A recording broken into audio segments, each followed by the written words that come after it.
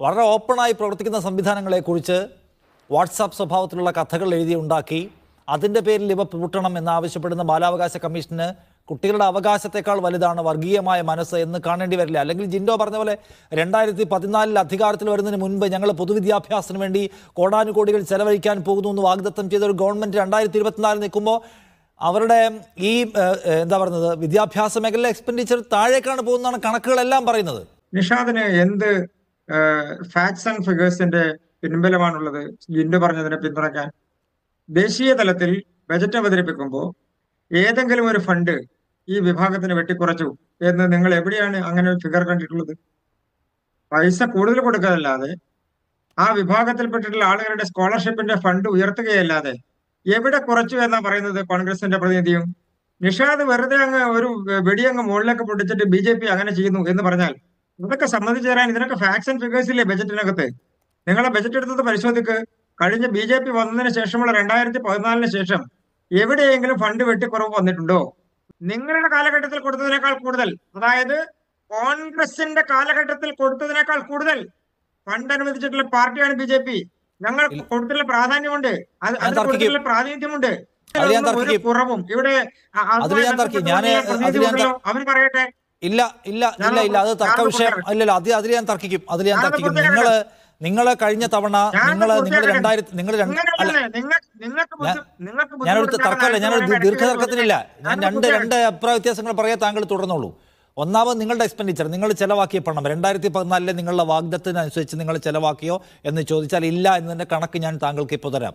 രണ്ടാമത്തേത്. ഞങ്ങൾ വല്ല സ്കോളർഷിപ്പും വെട്ടിച്ചുരുക്കുകയോ ചോദിച്ചാൽ നിങ്ങൾ സ്കോളർഷിപ്പ് വെട്ടിയിട്ടുണ്ട്.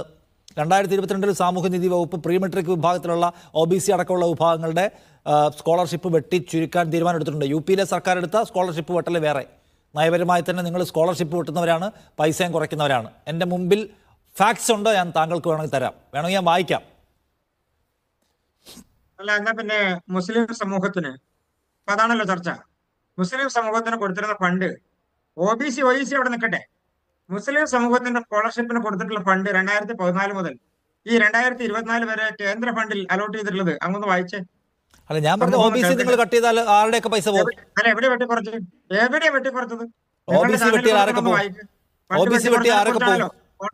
ഒ ബി സി മാത്രം അവിടെ നിൽക്കട്ടെ ഒ ബി സിയിൽ നിങ്ങൾ മാത്രമല്ലല്ലോ ഉള്ളത്. ഒ ഒരു വിഭാഗം മാത്രമാണുള്ളത്. അപ്പൊ നിങ്ങൾ നിങ്ങൾ മുസ്ലിങ്ങളുടെ വെടിക്കണ്ട പിന്നോക്കക്കാരുടെ ഒക്കെ വെട്ടുന്നത് എന്തിനാണ് അതിന്റെ ചോദ്യം. ഞാൻ പറഞ്ഞ രണ്ടായിരത്തി ഇരുപത്തിരണ്ടിൽ നിങ്ങൾ വെട്ടിക്കളഞ്ഞ സ്കോളർഷിപ്പിന്റെ ഗുണഭോക്താക്കൾ ആരൊക്കെയാണ്? ഒന്ന് മുസ്ലിങ്ങളാണ് ക്രിസ്ത്യാനികൾ ക്രിസ്ത്യാനികളാണ് ജൈനരാണ് ബുദ്ധരാണ് പാഴ്സികളാണ് അങ്ങനെ മൈനോറിറ്റിക്ക് കിട്ടേണ്ട ഒന്ന് അതായത് ഈ രണ്ടര ലക്ഷം വരെ വരുമാന പരിധിയുള്ളവർക്ക് ഫിഫ്റ്റി ഫിഫ്റ്റി ആയിട്ട് സ്റ്റേറ്റ് ആൻഡ് സെന്റർ സെൻട്രൽ കൊടുത്തുകൊണ്ടിരുന്ന പരിപാടി സാമൂഹിക നീതി ശാക്തീകരണ വകുപ്പ് ചർച്ച വെട്ടിക്കള നയിക്കല്ലേ?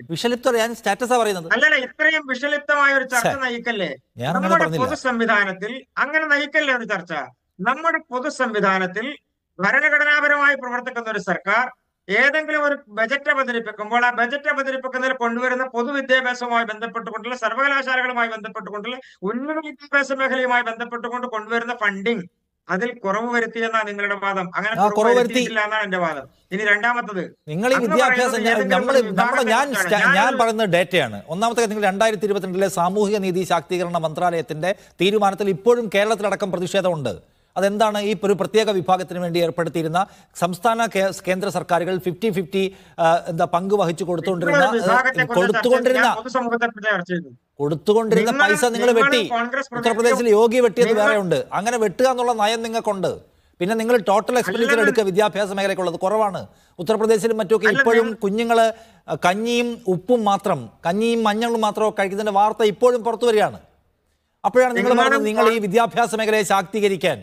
വലിയ പണിയെടുക്കുന്നു. കേരളത്തിലുണ്ട്. അത് കേരളത്തിലെ ഗവൺമെന്റുകളുടെ കേരളത്തിലെ സമൂഹത്തിന്റെ ഇച്ഛാശക്തിയാണ്. നോർത്തിൽ നിങ്ങൾ എന്താ ചെയ്യുന്നത് നമ്മൾ കണ്ടുകൊണ്ടിരിക്കല്ലേ? കോൺഗ്രസ് പ്രതിനിധിയും നടത്തുന്നത് ഒരു വിഭാഗത്തിന് വേണ്ടിയുള്ള ചർച്ച മാത്രമാണ്. ഞാൻ ഞാൻ പറഞ്ഞത് ഒരു പൊതുവിഭാഗവുമായി ബന്ധപ്പെട്ടുകൊണ്ട് പൊതുസമൂഹവുമായി ബന്ധപ്പെട്ടുകൊണ്ട് നടക്കുന്ന പ്രക്രിയയെ കുറിച്ച് അങ്ങനെ അങ്ങനെ പറയാ? ഒരു വിഭാഗത്തിന് വേണ്ടി ചിലപ്പോൾ പറയേണ്ടി വരില്ലേ? നോക്കൂ ആദിവാസികളെയും ദലിതുകളെ കുറിച്ച് ജിൻഡോ പറയാണ്. അവരെ പൊതുവിഭാഗത്തിൽ ഒറ്റയടിക്ക് എല്ലാവരും കൂടെ കൂടാൻ പറ്റുമോ അവർ സമൂഹത്തിൽ എത്രയോ പതിറ്റാണ്ടുകളായി അടിച്ചമർത്തപ്പെട്ട ജനവിഭാഗമാണ്. അവർക്ക് വിദ്യാലയം കാണാൻ കഴിഞ്ഞിട്ടില്ല. അവരെ കൊണ്ടുവരുന്നതിന് സവിശേഷമായ ഇടപെടലുകൾ ആവശ്യമുണ്ട്.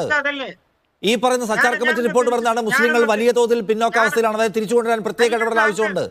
അപ്പൊ നിങ്ങൾ പറയണം എല്ലാവർക്കും വേണ്ടി ഞങ്ങൾ കുറെ പൈസ ചെലവാക്കിയിട്ടുണ്ട്. എല്ലാവർക്കും കൂടി? അങ്ങനെ അങ്ങനെ ചർച്ച ചെയ്യാൻ വയ്യ. അങ്ങനെ ഉം. തെറ്റിദ്ധരിപ്പിക്കാൻ രണ്ട് രണ്ട് രണ്ട് കണക്കുകൾ എടുത്ത് പറയാ. അങ്ങനെ പറയാം അങ്ങനെ കണക്കുകൾ എടുത്തല്ലല്ലോ പറയേണ്ടത്. ഒന്ന് കോൺഗ്രസിന്റെ പ്രതിനിധി പറയട്ടെ. എവിടെയാണ് വെട്ടിക്കുറച്ചത്. അദ്ദേഹമാണല്ലോ ആ വാദം ഉന്നയിച്ചത്. ഇനി അത് വേണ്ട. അദ്ദേഹം പറയട്ടെ. ഈ ചർച്ചയിൽ പങ്കെ- പങ്കെടുക്കുന്ന അദ്ദേഹം പറയട്ടെ. ബന്ധപ്പെട്ടുകൊണ്ട് മദ്രസ സംവിധാനവുമായി ബന്ധപ്പെട്ടുകൊണ്ട് ന്യൂനപക്ഷ വിഭാഗങ്ങളുമായി ബന്ധപ്പെട്ടുകൊണ്ട് എവിടെയെങ്കിലും ഒരു ഫണ്ട് വെട്ടിക്കുറച്ചോ? ജിൻഡോ ജിൻഡോ. ഒരു സ്ഥാപനം അടച്ചുപൂട്ടാൻ സർക്കാർ ഉത്തരവിട്ടിട്ടുണ്ടോ? ജിൻഡോ അങ്ങനെ ജിൻഡോ രണ്ട് കാര്യങ്ങളാണ്. ഒന്നാമത്തെ കാര്യം അങ്ങനെ ഏതെങ്കിലും തരത്തിലുള്ള വിവേചന സമീപനം വിദ്യാഭ്യാസ മേഖലയിൽ സർക്കാരിനില്ല എന്നതാണ് കൃഷ്ണദാസിന്റെ ഒന്നാമത്തെ പോയിന്റ് രണ്ടാമത് അദ്ദേഹം പറയുന്നത് വിദ്യാഭ്യാസ മേഖലയ്ക്ക് വേണ്ടി വലിയ തോതിൽ ഈ സർക്കാർ പണം മുടക്കുന്നു എന്നാണ്. ഞാൻ ഞാൻ പറയുന്നത് ഈ കൃഷ്ണദാസ് ഈ ചർച്ചയ്ക്ക് വരുന്നതിന് മുമ്പ് അറ്റ്ലീസ്റ്റ് കേന്ദ്ര സർക്കാരിന്റെ ബജറ്റ് ഡോക്യുമെന്റ്സ് ഒക്കെ ഒന്ന് ഓടിച്ച് വായിച്ചിരുന്നെങ്കിൽ കുറച്ചുകൂടി വിവരങ്ങൾ ഉണ്ടാകുമായിരുന്നു. ഒന്നാമത്തെ കാര്യം താങ്കൾ എന്നോട് ഇതിന്റെ കണക്ക് പറയാനല്ലേ പറയാം ഞാൻ പറയുന്നു രണ്ടായിരത്തി ഈ പതിമൂന്ന് അതായത് രണ്ടായിരത്തി പതിമൂന്ന് പതിനാല് കാലഘട്ടത്തിൽ ഈ രാജ്യത്തിന്റെ ചരിത്രത്തിൽ വിദ്യാഭ്യാസ മേഖലയിൽ ബജറ്റിന്റെ നാല് പോയിന്റ് എട്ട് ശതമാനം കൊടുത്ത സർക്കാരാണ് മൻമോഹൻ സിംഗ് സർക്കാർ. അതായത് അതിന് മുൻപത്തെ വർഷത്തേക്കാൾ രണ്ട് പോയിന്റ് ആറ് ശതമാനത്തിന്റെ ഇൻക്രിമെന്റ് ഉണ്ടായിരുന്നു. മനസ്സിലായോ? വർധനവുണ്ടായിരുന്നു. അതായത് അന്ന് അന്ന് രണ്ടായിരത്തി പതിനാല് പതിനഞ്ച് കാലത്ത് എഡ്യൂക്കേഷൻ സെക്ടറിലേക്കുള്ള അലോട്ട്മെന്റ് ജി ഡി പിയുടെ മൂന്ന് പോയിന്റ് പൂജ്യം ഏഴ് ശതമാനമായിരുന്നെങ്കിൽ ഇപ്പോൾ അത് ഒന്ന് പോയിന്റ് അഞ്ച് മൂന്ന് ശതമാനമാണ്. നിങ്ങൾ അന്ന് അമ്പതിനായിരം കോടി കൊടുത്തില്ലേ ഇന്ന് ഞങ്ങൾ എൺപതിനായിരം കോടി കൊടുക്കും എന്ന് പറഞ്ഞാൽ ഫിഗേഴ്സിൽ പറഞ്ഞാൽ ആക്ച്വൽ എമൗണ്ടിൽ പറഞ്ഞാൽ അതിലൊരു പ്രശ്നമുണ്ട്. അന്ന് രൂപയുടെ മൂല്യം എത്രയാണ്? ഇന്ന് രൂപയുടെ മൂല്യം എത്രയാണ്?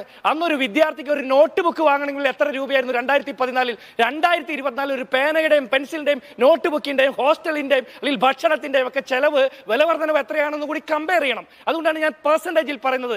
രണ്ടായിരത്തി പതിനാല് പതിനഞ്ച് കാലഘട്ടത്തിൽ ജി ഡി പിയുടെ മൂന്ന് പോയിന്റ് പൂജ്യം ഏഴ് ശതമാനമായിരുന്നെങ്കിൽ ഇന്ന് അത് ഒന്ന് പോയിന്റ് അഞ്ച് മൂന്ന് ശതമാനമായിട്ട് വിദ്യാഭ്യാസ മേഖലയിലേക്ക് കൊടുക്കുന്ന അലോട്ട്മെന്റ് കുറഞ്ഞിരിക്കുന്നു. അതിന്റെ അർത്ഥം നേർ പകുതിയായി.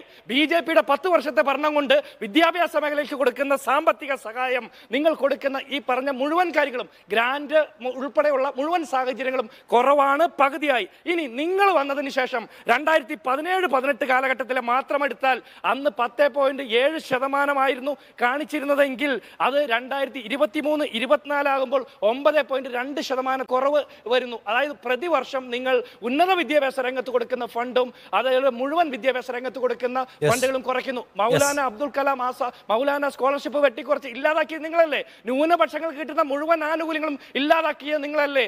നിങ്ങൾ പറയുന്നു എല്ലാ വിഭാഗത്തിനും ഞാൻ എല്ലാ വിഭാഗത്തിനും വേണ്ടി പറയുമ്പോൾ തന്നെ പാർശ്വവൽക്കരിക്കപ്പെട്ടവർക്ക് കൂടിയാണ് നമ്മൾ കൂടുതൽ പ്രയോറിറ്റി കൊടുത്ത് ഓക്കെ